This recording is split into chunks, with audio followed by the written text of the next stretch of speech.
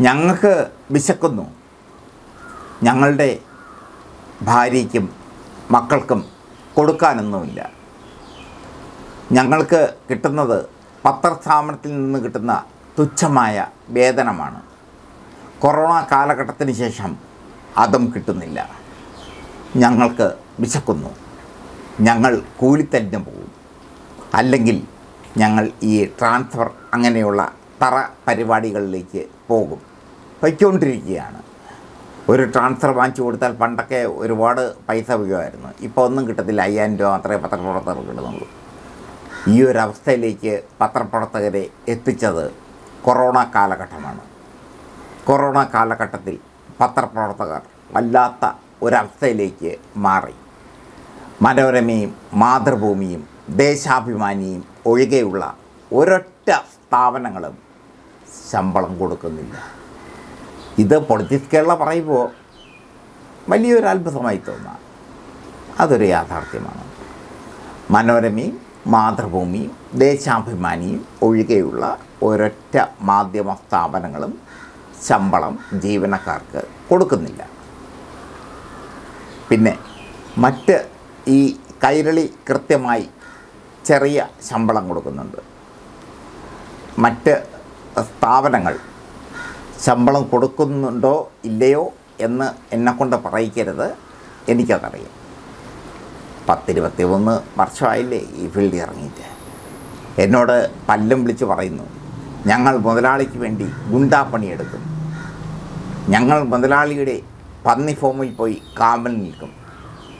അതിൽ നിന്ന് കിട്ടുന്ന തുച്ഛമായ വരുമാനം ഇരുന്നൂറ്റി അമ്പതോ ഇരുന്നൂറോ രൂപ. അതുമാത്രമാണ് ഞങ്ങൾക്കുള്ള ആശ്രയം.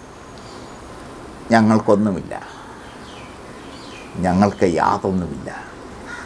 ഞങ്ങൾ അരക്ഷിതാവസ്ഥയിലാണ്.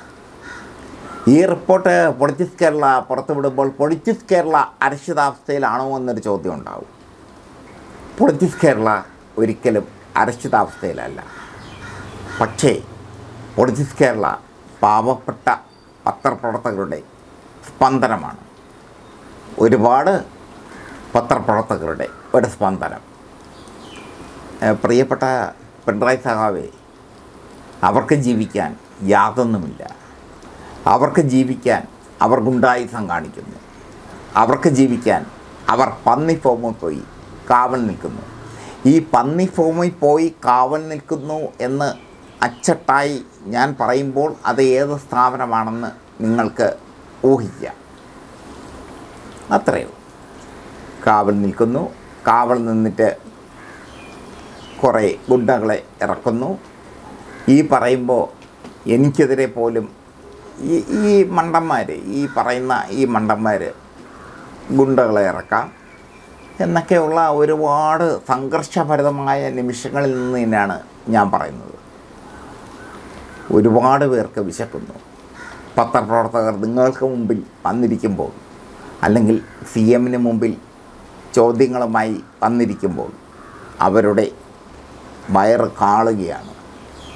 പല പല സ്ഥാപനങ്ങളുമായി ബന്ധപ്പെട്ട പല പല വ്യക്തികൾ വരുന്നുണ്ട് പത്രപ്രവർത്തന ജീവിതവുമായി ബന്ധപ്പെട്ട്.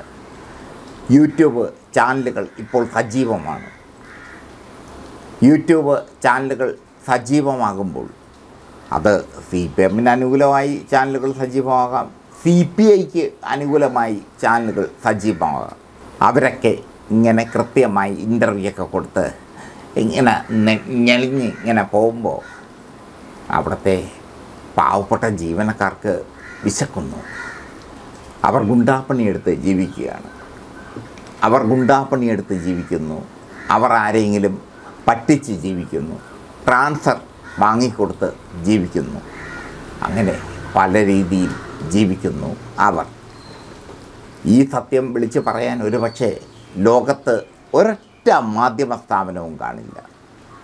പൊളിറ്റിക്സ് കേരളം മാത്രമേ കാണൂ.